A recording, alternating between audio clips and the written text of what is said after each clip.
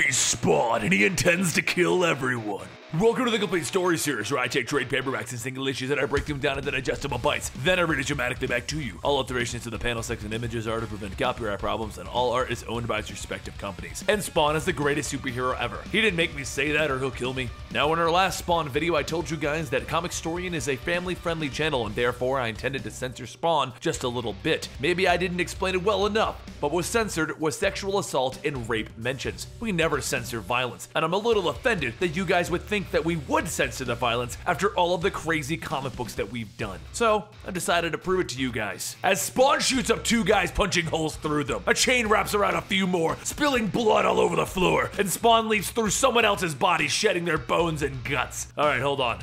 Let me roll this story back a few minutes. Spawn started this adventure by sitting on the toilet reading his own comic book. Uh, he might be a little shorter, pudgier, and childlike than you remember. He also has hot dog sized biceps. But this is Spawn, and he's currently come to San Diego Comic Con to announce his new movie. With superhero movies being all the rage, it's time for a comeback.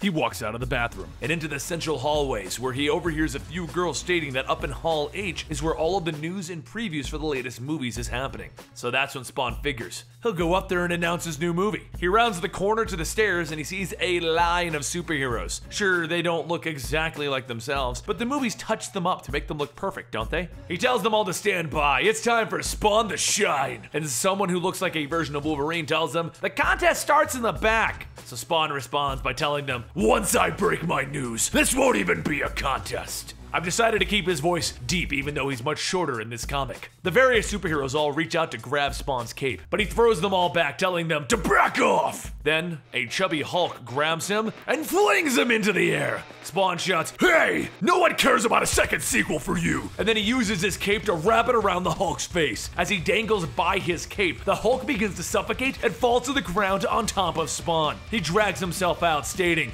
Wow, the Hulk is heavy. Must be both Edward Norton and Mark Ruffalo underneath all that makeup. He walks over to see a guy in a red and black costume going by the name of Deadpool. So he pulls out a gun. Sorry, Ryan Gosling. There isn't enough room for two R rated black and red costumed movie heroes. I don't care how many times you flash your butt cheeks. Then he blows a hole through Deadpool's face. There goes your sequel, Ryan, because now you're dead in a pool of blood. Yoda and Darth Vader run over telling Spawn that he's going to be disqualified for using real guns, and all three of them end up in a dust cloud of a battle. Then Spawn grabs Yoda, holding him up as Vader swings his lightsaber, cutting off Yoda's head. Then Spawn kicks Yoda's head into Vader, knocking him over, and then he shoots the chandelier off of the ceiling, crushing Darth Vader. He runs to the escalator, jumping on the handrail and running up it as two San Diego Comic Con guards begin to chase him. Leaping over them, he sees the door to the contest, and he sees Iron Man in the way. So he grabs the red carpet, pulling it out from underneath Iron Man, throwing him to the ground. Then he walks onto Iron Man's chest, guns ready. He pulls out a knife and he cuts open the armor, seeing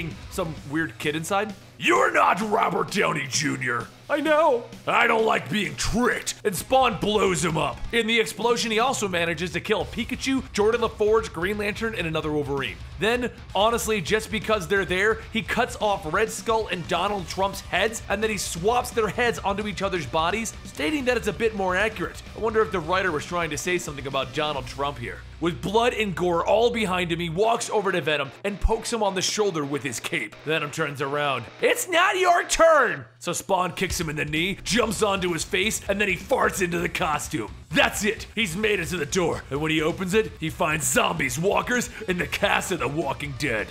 He looks at the crowd. Don't panic, everyone. I'll take care of this. And he rapid fire shoots all of them. Any of them that didn't die then meet his chains as he flings them all over, slicing off fingers, heads, arms, feet, and other bodily appendages. The whole time he's shouting, kill, kill, kill, kill. Sorry, Mr. Kirkman, this was long overdue. Now get back to writing about superheroes, or a Spawn annual, or a Spawn graphic novel. The audience begins to clap as this was the best staged event ever at the cosplay contest. And that's when Todd McFarlane himself walks over to give the cosplay trophy to the mini Spawn. He holds up Spawn's hand, asking the audience, Isn't this guy cute? So Spawn jumps in the air, No, no, no, no, no! And he tears off his mask. I'm puking a suit! Is this cute to you? And everyone claps even more at the lengths that he went to for his costume. Spawn is fed up and he calls Todd over. And then he blows a hole in his chest, so big that when the body slumps over, little Spawn is standing in the hole. And this is just the beginning, isn't it?